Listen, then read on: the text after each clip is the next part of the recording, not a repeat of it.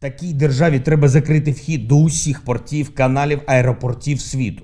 Така держава не має отримувати сотні мільярдів за експорт енергоресурсів.